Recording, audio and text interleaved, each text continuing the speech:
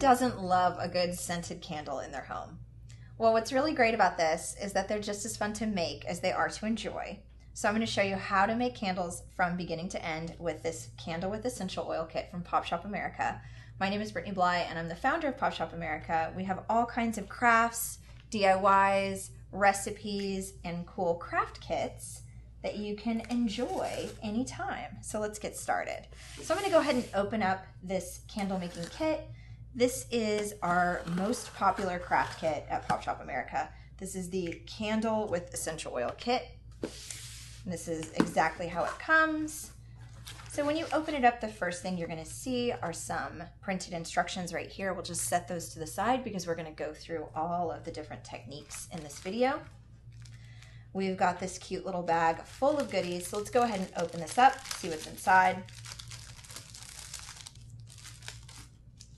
We've got essential oils right here. All of them are labeled on the bottom with different scents. And we also have a dropper bottle right here that'll come in handy later. I've got some caution labels, which is a, just a really smart approach to being safe with your candles once you're burning them. I've got an array of gorgeous tiny gemstones that are sized perfectly for this project. I have some dried lavender, and I have some really cute chalkboard sticker labels. So let's keep digging and see what else we have in there. So underneath, we also have a bag of wax. This is 12 ounces of wax right here. And wait, there's more. Let's go ahead and pull everything else out and I'll set it to the side so you can see everything better. I've got down at the bottom of the box, wicks and popsicle sticks. I've got this mason jar also full of wax. This is about three ounces of wax. And if we open up this box right here, I have a whole bunch of candle vessels in here. So those are all the supplies that you need to make this candle project from beginning to end. You actually don't need anything else except for a heat source. There's a few different ways that you can melt your wax. So let's just walk through some different approaches. So we're gonna use our mason jar to melt our wax. That's always the easiest approach. Now, there's a couple of different things that we can do we could pour all of this into a microwave safe bowl and then we could microwave this for 30 seconds at a time. Stir every 30 seconds when you pull it out from the microwave. Put it back in for another 30 seconds until it's liquid, until it's completely transparent. We could also take a stock pot with just a very small amount of water at the bottom place your mason jar right in there. Make sure that the water is nowhere near the top of the mason jar. Put this on a stove top on low and just stir it occasionally until that wax is melted. Now with either of these methods, we want to be extremely careful that we're always keeping it on low. Never turn your heat to high. Never with the microwave do intervals that are longer than 30 seconds. We always want to keep our wax as cool as possible for a few different reasons. One is that when we keep our candle wax low, it's going to cool faster. So the hotter we get our wax, the longer it's going to take for that wax to solidify, the longer we're going to be sitting there and just waiting to finish our candles.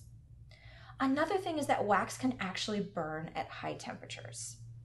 I've never actually seen it happen. It's never happened to me, but it can happen, so I don't want it to happen to you. So for safety and for speed, we're always gonna keep our wax on low.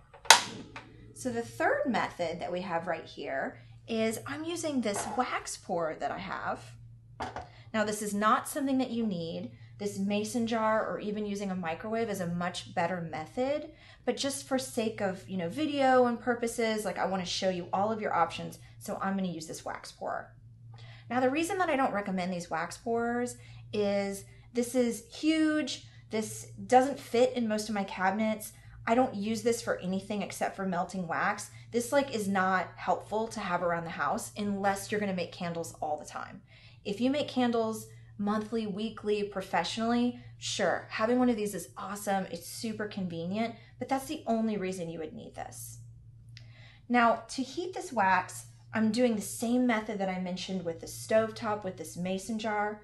I have my heat on low and I'm just gonna wait for our wax to melt. I'm gonna stir it occasionally over that time.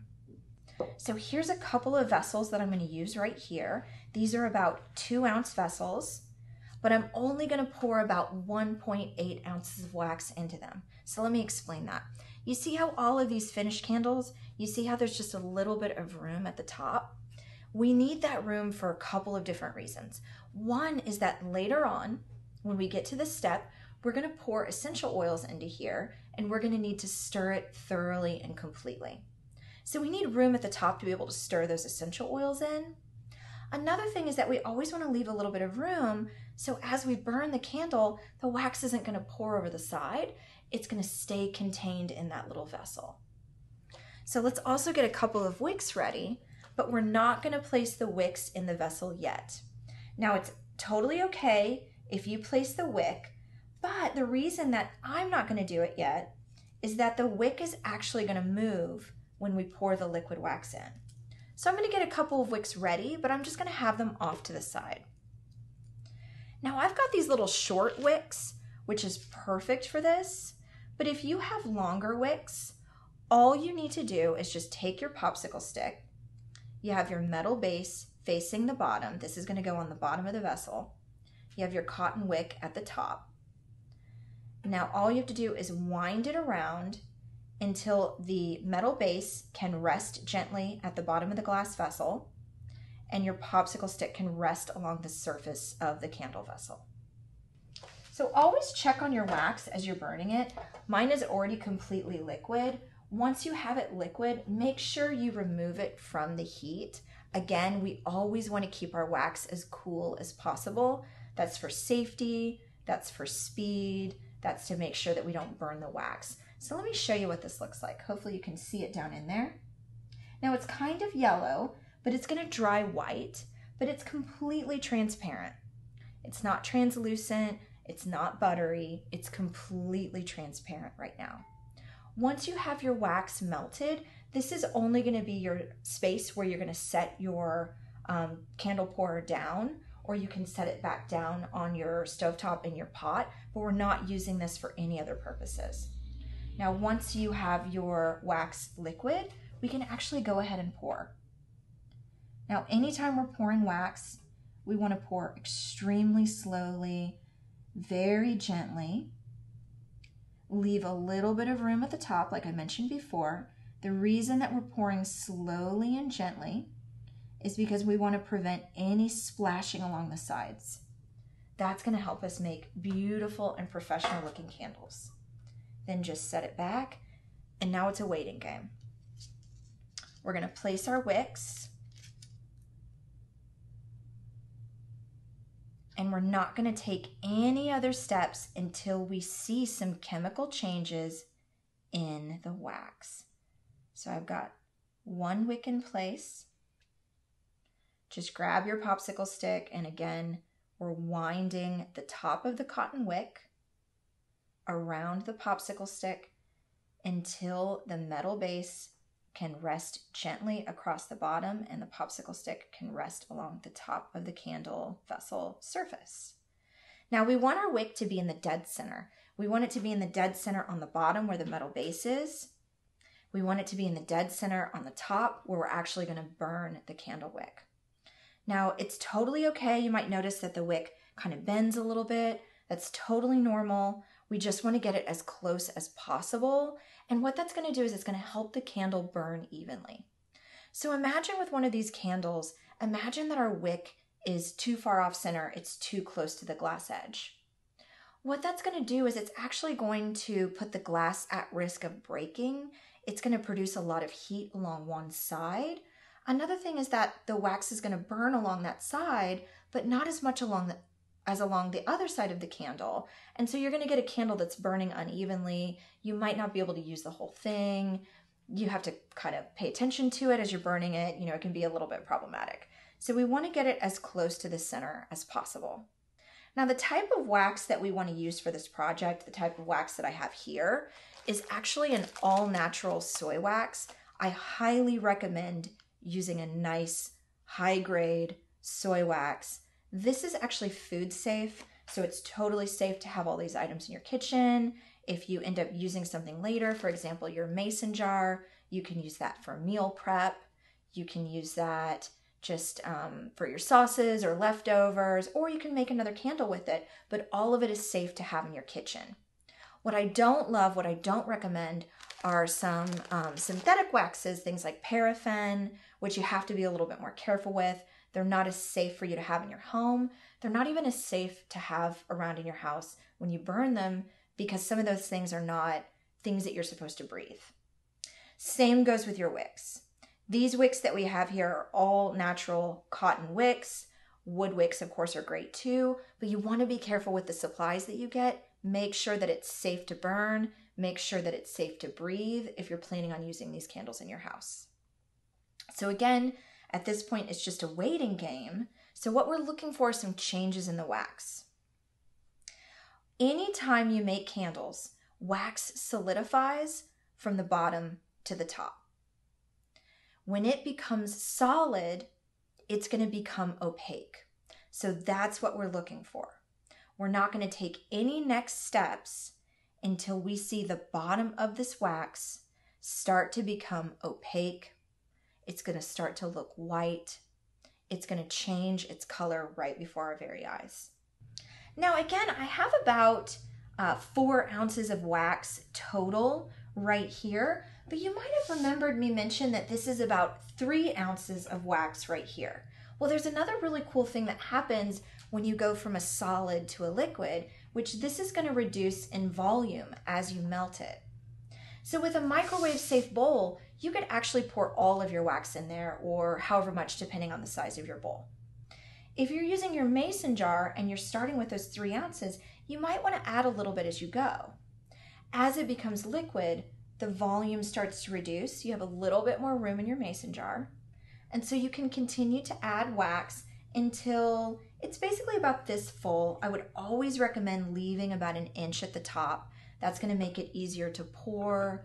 It's going to make it easier to stir as you're melting it. All of those different things are really helpful, you know, in your process of candle making. So once we have our wax in here, and again, it's just the waiting game, you can start to think about your essential oils, think about the blends that you want to choose. You could even start to prep your essential oils like I'm going to do right now. So I've got these essential oils right here. Let's see what scents we have. We've got lavender, peppermint, and eucalyptus. Definitely some of the most popular scents, and they all work really well together. And all of them together are actually very relaxing. Now, what's really cool is that essential oils are actually broken down into three distinct categories. There's top notes, middle notes, and base notes. Top notes are things that hit your scent palette first, things like lemon, citrusy, things that have that burst of scent that you notice right away, but they actually linger for the shortest amount of time. Versus base notes, which are things that are like amber or sandalwood, those, of course, stay for a long time in your scent palette, but they're quite subtle when you first smell them. So they actually they work really well together when you start to blend them together. In the middle, you have things that are called heart notes or middle notes. Those are things like your herbs or your florals. So for example, my lavender would be a really great example of a middle note. Those kind of have properties of both top notes and base notes. They're kind of right in the middle. They actually have like a, a medium molecule size. Top notes have the smallest molecule size. Base notes have the largest molecule size. Again, all of them, when you start to blend them together, that's what makes a really cool, complex scent that you notice right away. It has those punchy elements, but it also lingers on the palate, lingers in the nose for quite some time. So I'm going to go ahead and open up all of my bottles of essential oils. Let's make sure we know which one's which. So I've got my lavender right here. I'm actually going to organize them top note, middle note, base note. I'm going to organize them just so I can remember what's what. So eucalyptus for me, that's a base note. Peppermint, that's going to be more of a middle note, but it's going to be kind of on the base note side. Lavender, right in the middle, middle note. Now, if you have any trouble getting these bottles open, you could just grab a pair of scissors, place it right underneath that little plastic insert, and we'll just pop that little guy out. Now I have this open bottle of essential oils, so anytime we have something like that, we always want to be so careful. These essential oils are very high grade, that's why they're so tiny. And what I'm actually going to do is I'm going to use this dropper bottle with this little dropper lid. Now let me show you what I'm doing. Let's just get this right front and center. Now all of these bottles are interchangeable. So I'm going to take a bunch of drops of the lavender and what I'm going to do is I'm going to make my own custom blend. So squeeze some lavender into my empty bottle. Now before I move on, let's make sure to close this up. Always keep your essential oils closed when you're not using them. They are very high grade. We don't want to drop them directly to the skin. And we want to be very careful to not spill them we need them for our candles. So with peppermint, I'm going to use a lot less than the lavender. So now I've got that lid off. Place that lid to the side. I've got my dropper bottle right here. And let's just add the tiniest little bit of peppermint into our custom blend just a tiny bit. Now we'll close up this peppermint and let's set that to the side and let's add our third scent, eucalyptus. We actually have tons of different essential oil recipes that you can find on the blog and that will be linked in the description below. Now, all of these essential oils that we've been talking about, again, are high grade essential oils. They are not fragrance oils. Fragrance oils are very popular in candle making. I do not love them personally. They are chemical in nature, they're not natural. And for me, they don't smell quite as good. They actually make me feel kind of gross when I smell them.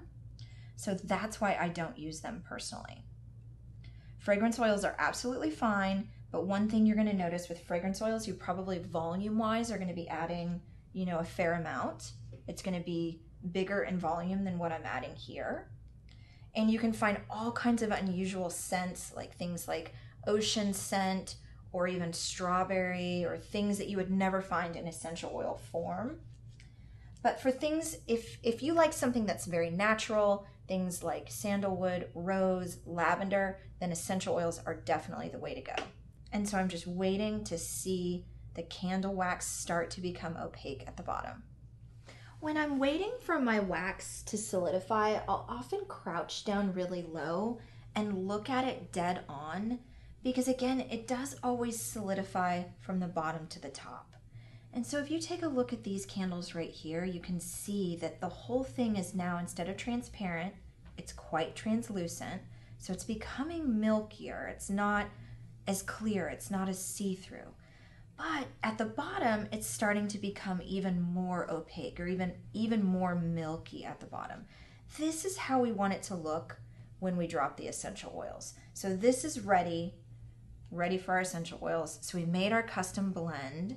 So let's go ahead and just drop it on in. Now the amount of essential oils that you add can vary based on the quality and based on the size of your candle. So it's tough to say, you know, how much to use for any given project. So what we what we want to do is just kind of smell for what we like and go from there. For a candle this size, again, we're working with two ounce candles. We want to consider maybe around 20 drops of high grade essential oils and probably not any more than that. Of course, you can add a little bit more if you like, you just kind of have to smell it as you go. Now, the reason that we add essential oils as this wax is cooling and we never add them sooner, if we add the essential oils when the wax is too hot, then the, all of the essential oils will burn off right when we add them to the candle. They won't burn when we're melting the candle, when we light the candle later, when we actually want to use the candle. Essential oils burn at a slightly lower temperature than the wax, and they have to. So let's just think about that. So, if essential oils didn't burn at a lower temperature than wax, we wouldn't be able to smell them at all. We want to be able to smell them as we light the candle, as we use the candle in our home. So, they absolutely have to burn at a lower temperature than the wax. So, if the wax is too hot, then all of that essential oil is going to be released right there in the making process instead of when we're actually using the candle later.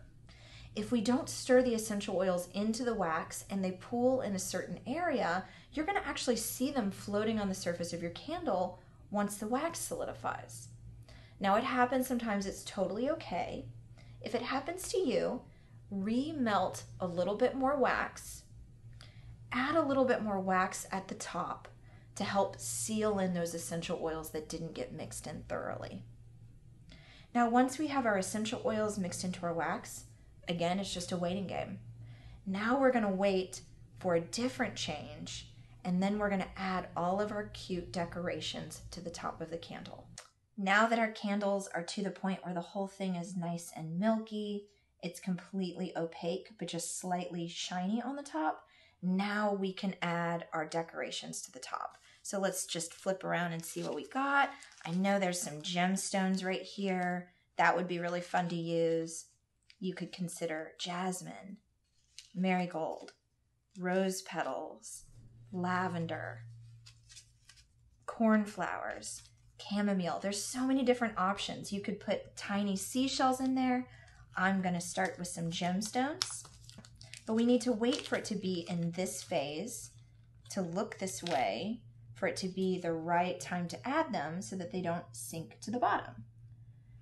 Now with gemstones, we never want to add too many. So about two is probably all I want to add for something this size. We need for the candle to have plenty of space for the wick to burn and melt. What we should never do is place too many things on the surface of the candles. So I've got some gemstones on this one. And how about we use these jasmine buds on the other one. That'll look really pretty. Of course, you can mix and match. You can add both gemstones and flowers. You can add lots of different types of flowers.